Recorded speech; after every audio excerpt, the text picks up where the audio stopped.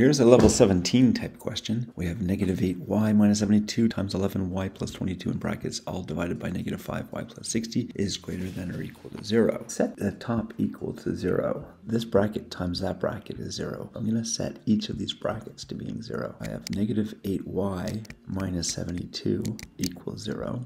Add 72 to both sides, so negative 8y equals 72. Then divide both sides by negative 8. y is equal to negative 9. For the 11y plus 22, we get 11y plus 22 equals 0. Subtract 22 from both sides. We have 11y is equal to negative 22. Divide both sides by 11. y is equal to negative 2. Then we have negative 5y plus 60. Make that equal to 0. Negative 5y plus 60 equals 0. Subtract 60 from both sides. Negative 5y is equal to negative 60. Divide both sides by negative 5. y is equal to positive 12. We now have three numbers, which is going to divide our number line into seven regions. It's a little bit different than previous levels. Put the smallest one first, that's negative 9, and beware these don't always come in that order, okay? This is the first one happens to be the smallest, that's purely coincidental. Then negative 2,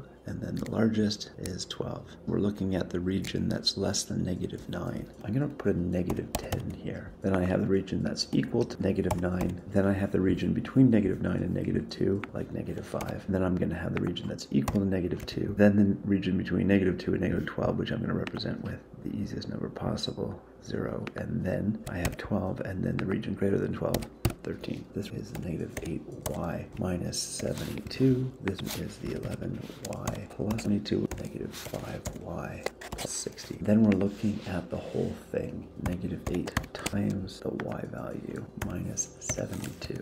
Fill that down. Here's our 0. Is equal to 11 times the y value plus 22. Fill those down is equal to negative 5, the y value plus 60, and then fill those down. I want to see what happens when I multiply the two tops divided by the bottom. Here we get a negative. If I fill that down, we have negative, 0, positive, 0, negative. This is really undefined. Positive. When is it greater than or equal to 0? When is it positive or 0? That's here, here, here, and here. And if I mark that on our number line over here, on negative 9, so I'm putting a solid dot on negative 9, but negative 9 is included, negative 2 is included, and in between is included. I'm going to put a solid dot on the negative 2 and then everything in between. Then nothing else is included until we get to beyond the 12. And put a hollow dot on the 12. We are shading this way.